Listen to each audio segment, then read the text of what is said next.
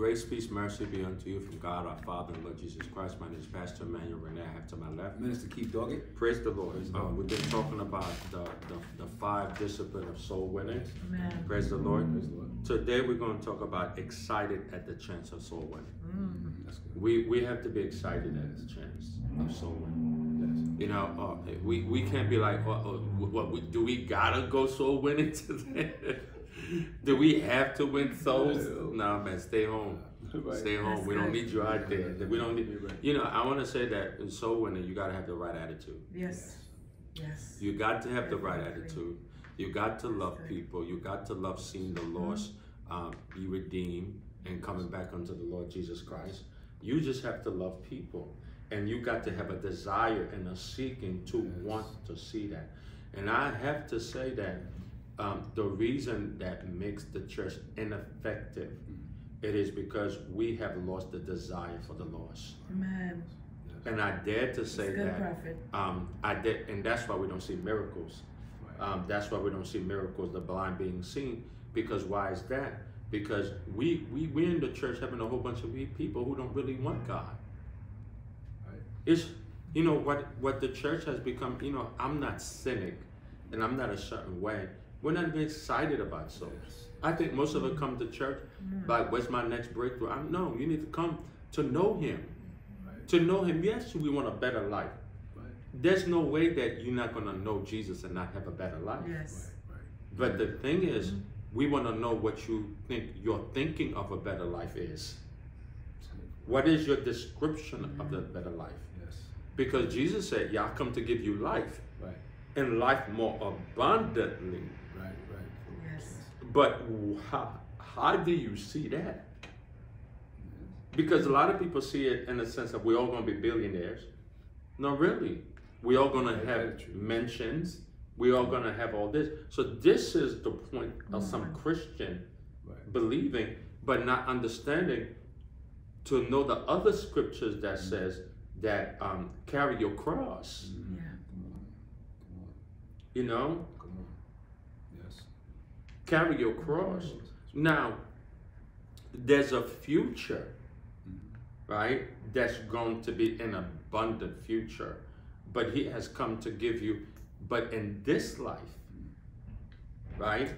there has to be a burden to work for the others that are lost that we have to come and that have done in mm-hmm. other generation Yes. that the christian don't um, believe that there's um, a work to be done but the christian wants to go into the harvest and enjoy harvest without really That's planting or good. doing anything That was true. so i found out Mm. this is why most church people are unhappy in church they are um, dissatisfied Right. with church. And I think this is why I'm, I'm God is leading me to preach the way that I'm preaching to tear down strongholds and mindset about what we believe God to be and what we expect from God. But really we need to know what God expects from us. Yes. What does he desire from us? So now if you tell church people, um, let's go soul winning, guess what somebody gonna say? It's too cold. Really? Could you imagine if somebody says too cold for you? Where would you Come be on, if nobody good. Come on was not excited to reach you? Come on now. Yes. Hmm? Yes. Yes. What did Jesus say about it's too hot in Jerusalem to be in that cross today? I can't Right. Yes. I can't be in that cross. Man, it's Right.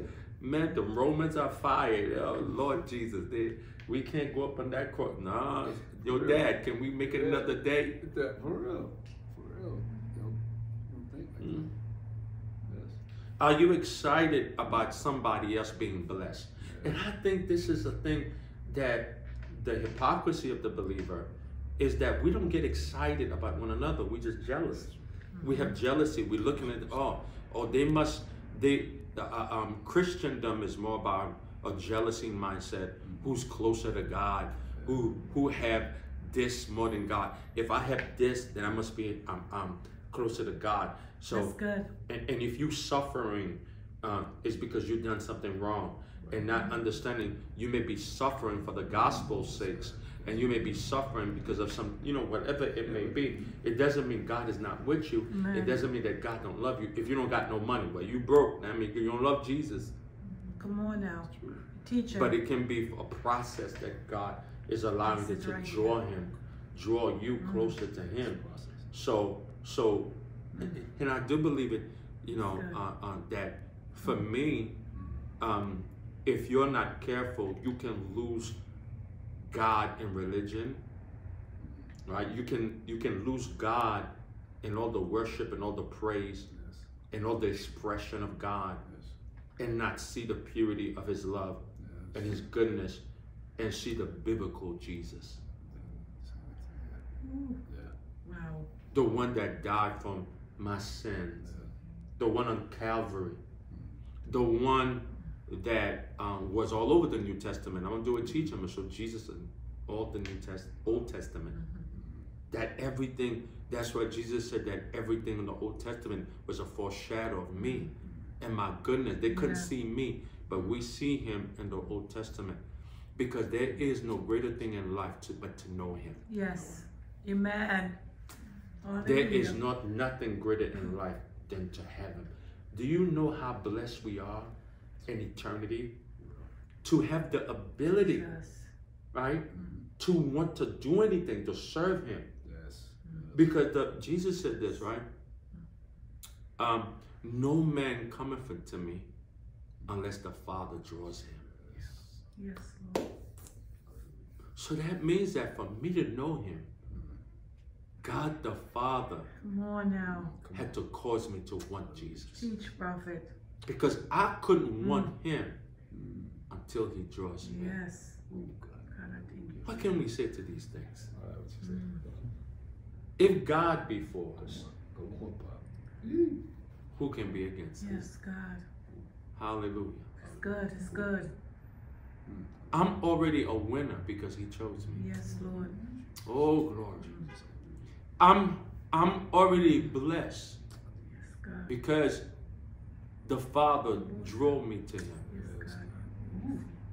Me having stuff, me having a, a, a, a hundred room mansion doesn't describe my blessing. Come on now. Come on. Me having fleets of cars does not describe my blessing and my position of life. You don't understand that? What caused me to be blessed? That the God of all existence, Yes, God. that the God of all creation, right, drew me to his son for me to know him. Jesus.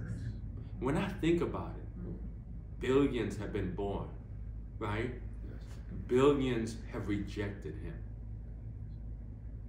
But he caused me Yes, to know God. him. Hallelujah. I want you to think about it. Jesus. Hallelujah. I want you to think about how blessed you are. I want you to think how blessed and how grateful, how joyful when you hmm. think that in the, in, in the light of eternity, billions are lost, but you, little old me, Yes, he drew me. Yes, No good me. He drew me. Yes, Lord. Yes, yes. Hmm. Jesus. You know? Hmm. And how is it that I cannot be excited Right. and trying to find out who us God is drawing? Jesus. I may not know. Mm, some Good. some when they reject you, maybe hey, you say maybe they ain't coming to God now. Mm. Maybe they're coming later. But let me go find somebody who God is drawing. Yes. And you got to get excited about that.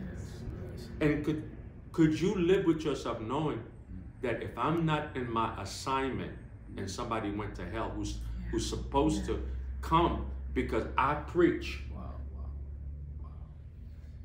Wow. Wow. See, this is why um, upcoming deaconess Angie said that on Sunday. Mm. That when you say no, mm. when you walk away, Yes. when you deny the work and the assignment, Lord. you don't know who else is going to be affected by them. No. Yes. But I know in my heart that God will always have a plan A, B. Somebody will come and do your job. Yes. And save them. Amen. Are you excited about soul winning? You want to say something, Mr. Keith? Yeah, it's, it's true because we, we gotta be very careful because, you know, just like how God, you know, you know, when, when I, when I look at, when I look up here, like how God handpicked us, the Father, He elected us. Mhm. He picked us, you know, to get to, to, to, to come to His Son. Mhm. He picked us. He had to choose us, but He did. And we Mhm. gotta be grateful and thankful that He chose us and called us to do a job, do an assignment for Him. Mhm. You know, and and we have to show some excitement. We gotta be excited. You can't just say, "Oh, God saved me. He delivered us everything." That's it. And you don't want to get excited and go out there in the highways and the byways to compel man to come to God. You, know, I look at it, Mr. Keith, as a preacher, right? And I look at the assignment for the people. The only time people get excited if you talk about God going bless them, turn around ten times. Everybody turn around. Ah! Come on, That's good, prophet. That's good. Right. They they they want you to be like Oprah. Everybody get a car. You get a car. You get a car. That's good. Ah! Yeah, that's good. But good. let's say about let's go save soul, but huh? You know it's cold out there, right? good. You know, This is good. How we gonna? I don't got no coat to go out there. I don't. I just came from work. I'm too tired. You know, I'm too this. I'm too whatever because we don't have no excitement for the lost and to be able to win the lost and get the lost to come into Jesus. But this is why how church has spoiled us. Religion has spoiled us to be thinking that coming into ministry and doing the work of God is only about you and your happiness and your joy and what you're supposed to have and not supposed to have. You know, this is where we've been spoiled. I'm supposed to be happy. Um, the minute I go through in life, I don't want to be in church. That means that you don't understand what Jesus Christ is really all about. You understand that? That means that you don't know about the suffering of God. When church is only about your goodness and your pleasure and what you want and what you don't want, then guess what happened? Then you missed the point. And you and where we are missing the point as a church is when we don't care for what God cares for and he cares about the lost and we don't care about what he cares for. So when we don't care about what he cares about, we are out of the will of God, then what are we doing in his house? Oh, my God. Lord Jesus. When when we more care about making 80 million dollar buildings than care about feeding the 80 uh, you know 80 million souls with that money and making sure because Jesus care about about people. Now let me show you this, right? And I know some pastors may may feel a certain way, but what. I'm saying is this: when the people were hungry, right? Jesus tell, told Peter and them, you know, uh, go buy them something to eat, and and Peter said, too much people for me to buy all that thing for them. There's a whole lot of people there, but Jesus said, let them sit down. They're about to see a miracle. Nobody here. They're about to see a on. miracle, and He give thank God oh thanks. God. A lot of times, people care about legacy more than they care about souls. Come on. Come on. Speak, prophet. Tell the truth. So you're talking about you build a twenty Jesus. million dollar building when those built those things can create a community for the souls to thrive in, to grow in, to become better, to create jobs and to do all these other things for the believers of the church, to bless them, to do the things that they put that money that they give back into them. Right. Yeah. Right. Yeah. Right. Build yourself, build yourself a mm-hmm. million dollar church. Take the other 80 and do something else with it to further the kingdom so the kingdom can begin to grow economically by Yeah. building up the citizens of the kingdom. Come on now. You teach it, prophet. Because it's all is about soul winning. I know. We're gonna leave it alone. This is good. This is good. This is really good. It's good teaching, Mr. Talking. My God. It's good teaching. We don't care about souls. We say we do, but we care about ourselves. Anyway, First um, um, Thessalonians chapter two, verse nineteen, he says, um, "For what is our hope or joy or crown of rejoicing? Are not even you in the presence of our Lord Jesus Christ that is coming?" That is um, our strength as preachers. Our rejoicing is not buildings we left. It is the people that we pre- put in the presence of God. Yes. Those are the glory. Those are the things. Like how many people have we impacted to believe in the Lord Jesus? And how many people who gonna stand at the presence of the Lord and giving him glory and giving him goodness? That is our legacy. Not buildings, not things, not anything else. Nothing else. And that goes into the point that Jesus in his ministry and Paul in his ministry was about the lost. and it was about people. You want to say something, to reach the lost, reaching the people, the soul. That's what Jesus said. I, I didn't came to, to, to, to be served, but I came to serve. Mhm. You know, and we gotta have the same mentality that we come to serve. You know what I'm saying? Caring, care, and, and like you said, it, it's about a desire. We lost desire Mhm. to win souls. We done got so busy caught up in ourselves and me, me, we got a me, me spirit. Instead of being a soul winner spirit. And having, like you always teach it, a burden for souls. When you got a burden for souls, you don't care what, you don't care if it's zero below zero, it's fire hot outside. You don't care. You're concerned about a soul, somebody coming to Jesus. Yeah, I'm not impressed with the things of men. I'm not impressed what men can give and what Yeah. men can do. But, you know, at the end of the day, you're looking for one thing where Jesus said, Well done, my good and faithful servant. That's That's that's the key. That's what you want to hear. And then you want people.